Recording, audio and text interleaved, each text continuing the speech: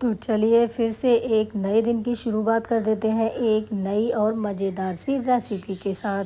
आज मैं आप सभी के साथ दही मिर्ची की अचार की रेसिपी शेयर करूँगी, जो बहुत ही आसान तरीके से बन जाएगी और आप इसे दो से तीन महीने स्टोर करके रख सकते हैं। ये जल्दी ख़राब भी नहीं होती है। इसमें मसाला और तेल बहुत ही कम लगता है।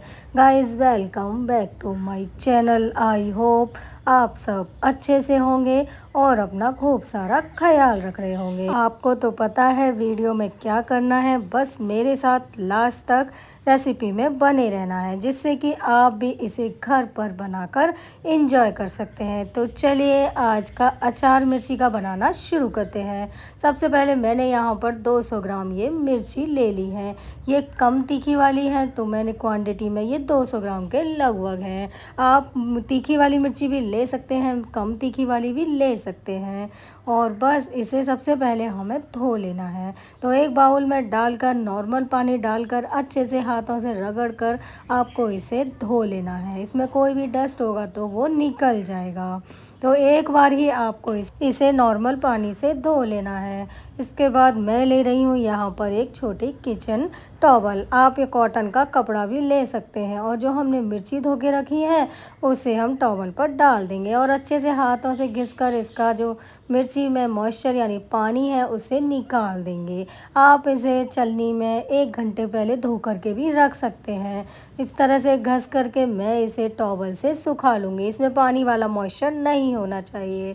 तो चलिए फिर से इसे एक बाउल में मिर्चियों को डाल देते हैं। मैंने यहाँ पर कम तीखी लिखी ली है मिर्ची, जिससे कि ये मिर्ची का अचार ज़्यादा तीखा नहीं लगेगा। तो बच्चे भी इसे इंजॉय कर सकते हैं। अब फिर से मैंने ली है एक बाउल और मिर्ची को काटना शुरू करेंगे। मैंने इस तरह से चाकू से इसे टेढ़ा टेढ़ा सा काट दिया है। आप चाहें तो बीस में से चीरा लगा करके भी काट सकते हैं। आप अपनी पसंद से इसमें बड़े बड़े गोल गोल पार्ट भी काट सकते हैं। आपकी मर्ज़ी के हिसाब से मिर्ची का शेप आप काट सकते हैं। तो चलिए इसी तरह से ही मैं ये सारी मिर्चियाँ काट करके रेडी कर लेती हूँ। इस तरह से मिर्ची काट कर ये देखने में भी सुंदर लगती हैं और मिर्ची का अचार तो होता ही औसम है। तो ये लीजिए, सारी मिर्ची हमारी यहाँ पर कट करके रेडी हो गई है। देख रहे हैं आप, देखने में कितनी ये सुंदर लग रही है। सारी मिर्चियाँ मैंने यहाँ पर काट ली हैं और अभी इसी स्टेज पर मैं इसमें थोड़ा सा डाल दूँगी। काला नमक। नमक आप सफ़ेद वाला भी ले सकते हैं, लेकिन हम वाइट वाला नमक बाद में ऐड करेंगे। अभी मैंने काला नमक डाला है। थोड़ा ही नमक ऐड किया है क्योंकि नमक हम बाद में डालेंगे। आधा छोटा चम्मच हल्दी का डाल दिया है इसमें, इसी स्टेज पर और इसे मिला लेंगे। इस तरह से टॉस करते हुए आप चाहे हाथ से भी मिला सकते हैं। ढक कर इसे साइड में रख देंगे। अब मैंने लिया है तड़का पैन और इसमें तेल डाल देंगे। लगभग ये एक चमचे के लगभग तेल होगा। हमारे जो आज का अचार है मिर्ची का, इसमें तेल बहुत ही कम लगेगा। इंस्टेंट ये मिर्ची का अचार बनने वाला है। बस आप इसे डालिए और इंजॉय एंजॉय करना शुरू करिए। तो तेल को आपको धुआँ देने तक गर्म कर लेना है। इससे इसका कच्चापन निकल जाएगा और जो तेल कड़वा होता है राई वाला, वो भी ख़त्म हो जाएगा कड़वापन तेल का। गैस को बंद करके तेल को ठंडा होने देंगे।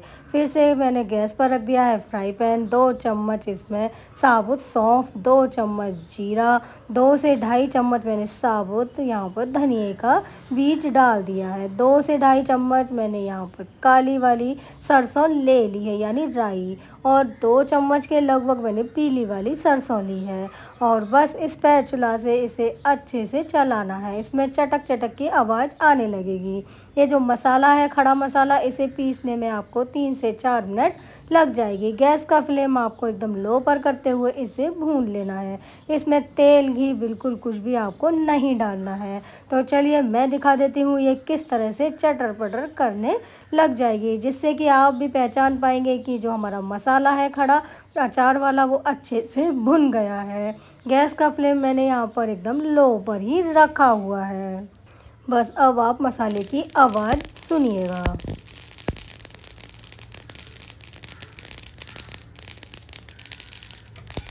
सुना आपने, बिल्कुल इस तरह की इसकी चटकने की आवाज़ आने लगी। गैस का फ्लेम बंद कर देंगे और थोड़ा सा मसाले को ठंडा होने के बाद मिक्सर जार में डालकर इसे दर दरा पीस लेना है। एकदम बारीक पाउडर फॉर्म में इसे मत पीसिएगा दर दरा सा ही पीस करके रेडी करिएगा और थोड़ा ठंडा होने के बाद ही हम इस मसाले को पीस कर रेडी करेंगे। यह जो हमारा अचार है, आप इससे रोटी, पराठा पूरी इंजॉय कर सकते हैं। और ये देखिए मसाला हमारा पिस गया है, दरदरा है, बिल्कुल बारीक मैंने नहीं किया है। चलिए यहाँ पर मिर्ची को देख लेते हैं। सबसे पहले मैं इसमें डाल रही हूँ जो हमने मसाला पीस के रखा था अचार वाला। बस वही दो चम्मच के लगभग मैं बचा ले रही हूँ। मुझे मसाला थोड़ा ज़्यादा लग रहा है तो दो चम्मच मैंने बचा लिया है। और इसी स्टेज पर मैं यहाँ पर एक छोटा चम्मच हींग का भी ऐड कर दूँगी। हींग से हमारा जो अचार है, इससे खुशबू अच्छी आती है और टेस्ट भी अच्छा होता है। और हींग पेट के लिए भी काफ़ी फ़ायदेमंद होती है। तो आधा छोटा चम्मच मैंने हींग डाल दी है। आप हींग पसंद नहीं करते तो स्किप कर सकते हैं। कश्मीरी लाल मिर्ची आधा चम्मच कलर के लिए डाल रही हूँ। अब मैं यहाँ पर आधे से भी कम चम्मच नमक का ऐड कर रही हूँ, क्योंकि हमने पहले काला नमक भी ऐड किया था। और इसमें डाल रही हूँ एक से डेढ़ चम्मच आमचूर का पाउडर इससे हमारा जो अचार है, खट्टा सा हो जाएगा। अब हमने जो तेल गरम किया था सरसों का, वो भी ठंडा हो गया है। तो बस दो चम्मच मैंने यहाँ पर तेल के डाल दिए हैं और चम्मच से अच्छे से इसे मिला लेंगे। एक साथ तेल जो गरम किया है, वो मत डालिएगा, नहीं तो क्या होगा, मसाला नीचे बैठ जाएगा। थोड़ा थोड़ा करके डालेंगे तो मिर्चियों में मसाला अच्छे से लपेट जाएगा। तो चलिए मैं इसी तरह से ही इसे मिला लेती हूँ। तब तक आप मुझे बताइए आज की मेरी ये जो रेसिपी है, आप कौन सी सिटी से देख रहे हैं? और वीडियो आपको थोड़ी भी पसंद आ रही हो तो लाइक शेयर ज़रूर कर लें। और ये देखिए, ये मिला करके कुछ इस तरह से दिखने लगेगा। काफ़ी सुंदर दिखता है। अब मैं इसमें डाल रही हूँ दो से तीन चम्मच दही। ये दही खट्टा नहीं है फ्रिज का भी नहीं है और घर का जमा हुआ है। तीन चम्मच के लगभग मैंने डाल दिया है। आठ से दस लहसुन की कलियाँ डाल दी हैं, जिनको जिनको मैंने बिना छिले ही डाल दिया है। ये जो अचार है लहसुन का, वो भी इसमें बन जाएगा। खुशबू भी अच्छी आएगी। और खाने के लिए भी ये टेस्टी लगेगा। तो बस जो बचा हुआ तेल था, वो भी मैं इसमें ऐड कर दूँगी। देख रहे हैं कितने कम तेल में हमारा ये अचार बन करके रेडी हो रहा है। ये दही मिर्ची का अचार है, आप इसे स्टोर करके रख लीजिए। और रोटी सब्ज़ी खाने का मन ना कर रहा हो तो आप साथ में ये अचार सर्व करिए और इसे इंजॉय करिए।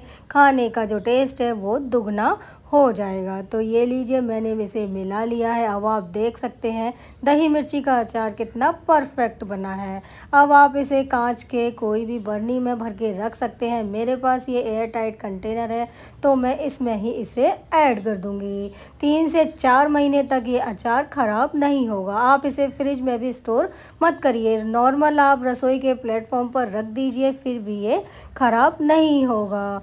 तो बस आप इसे रोटी, पराठा, पूरी, छोले, कुलचे, जो आपकी मर्ज़ी है, आप इससे इंजॉय कर सकते हैं। तो आज का हमारा दही मिर्ची का ये अचार बन कर के रेडी हो गया है। इंस्टेंट अचार है ये। आई होप आप सभी को आज की मेरी ये रेसिपी पसंद आई होगी। तो वीडियो को लाइक शेयर करें। नए हैं तो चैनल को सब्सक्राइब करते हुए जाइएगा। मैं फिर मिलूँगी आप सभी से एक नई और यूनिक रेसिपी के साथ तब तक के लिए टाटा बाय बाय